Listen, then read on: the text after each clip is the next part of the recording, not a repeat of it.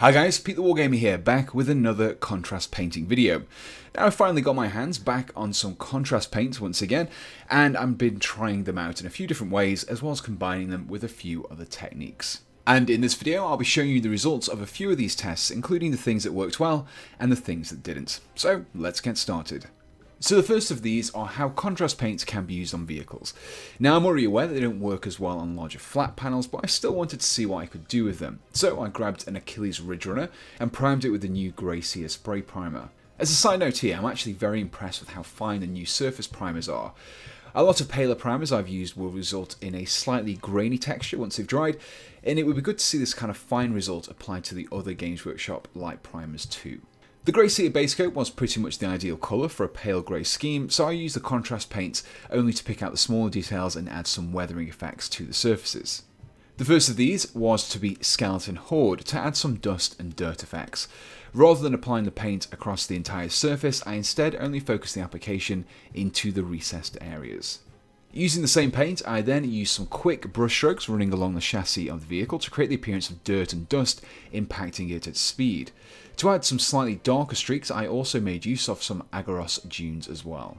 The contrast paints worked really well for this because of their translucency. I was able to build up a few consecutive layers and the result it created was that of thin lines of dirt that built up steadily on top of each other.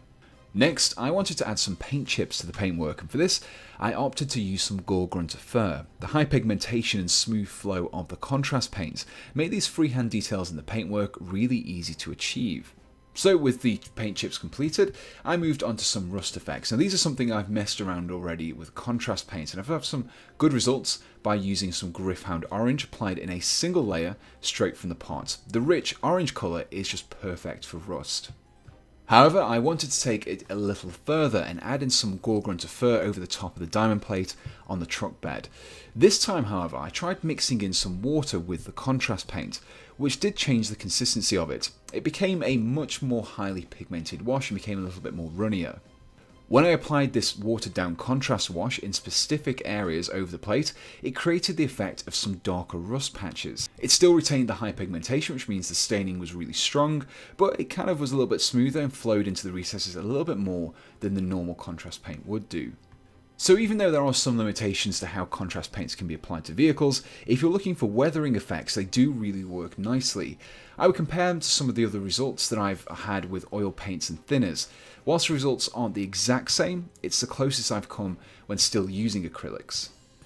So next I wanted to try out contrast paints over some Zenithal highlights. I opted for the generic Primaris Marine as I wanted to see how the contrast would work over the large smooth plates.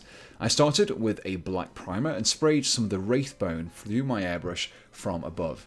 This created some instant shadows. However, I later realised that this wasn't done properly. I should have gone much heavier with the Wraithbone, but we'll come to that shortly. Once the Zenithal highlights had been created, I then hit the whole model with some Iyanden yellow, and then picked out the shoulder trim on the chest eagle with some Blood Angels red.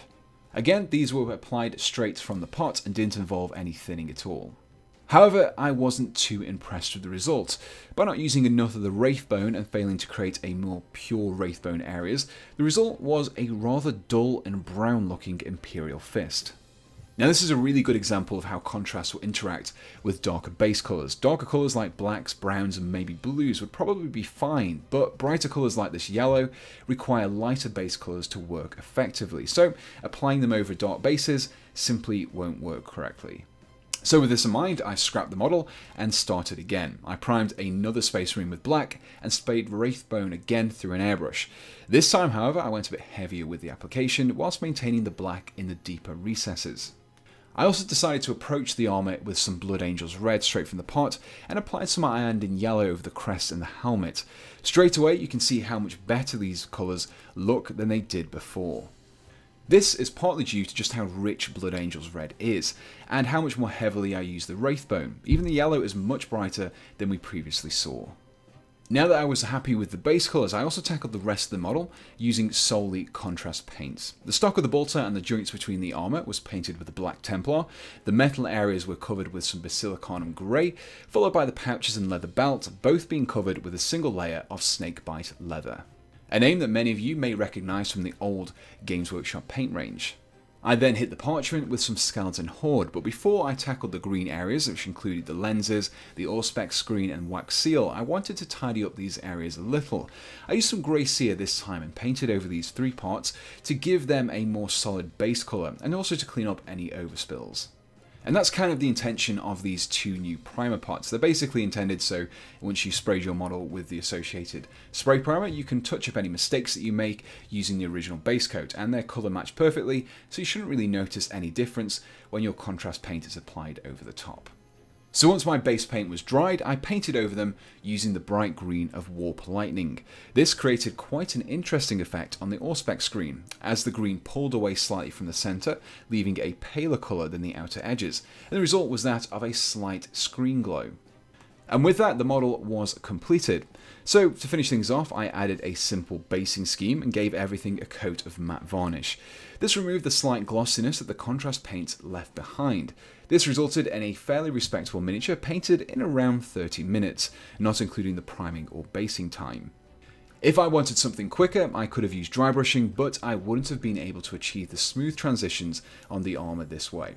Additionally, if I wanted a better looking miniature, I could have used regular painting techniques. However, this probably would have taken a lot longer than 30 minutes.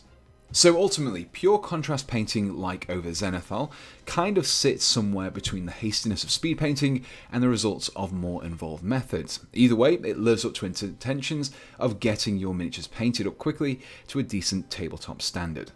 So that concludes this first video on following my experiments with contrast paints. If there is any technique you would like to see me try out with contrast, let me know and I'll do my best to cover them in some future videos. If you enjoyed this video, let me know in the comments below and be sure to check out my Patreon page if you'd like to support my channel and help me continue making and improving my videos. So the only thing left to say is, thanks for watching and goodbye.